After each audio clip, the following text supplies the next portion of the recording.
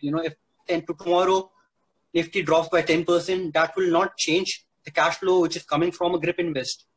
So, yeah. So that's why you know that's why these assets come into place and and becomes an important part of my portfolio.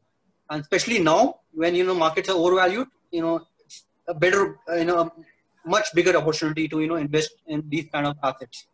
So that is like the, one of the reasons you know uh, to have uh, an asset like uh, you know grip in your portfolio that is from diversification purpose second is to have a, you know a sound business model right so a lot of times you know you know we think you know we could have an you know we could have given an ola on rent and you know earn some you know uh, money through you know, that driver or a lot of time we think you know we you know rent air conditioner and you see think you know what a good model, business model this is you know that guy who's renting us out the air conditioner you know every month we have to pay him six seven hundred eight hundred bucks you know what Furlenco is doing and all that.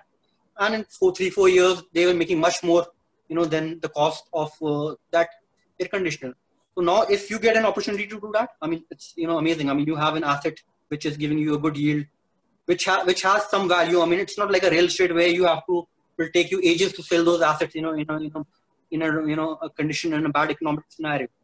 So I think uh, from a business perspective, that is uh, you know good business model. And third important factor is uh, efficiency. I mean, if you're investing in FD and generating 5% and 30% you're paying tax, so I don't think it's very efficient.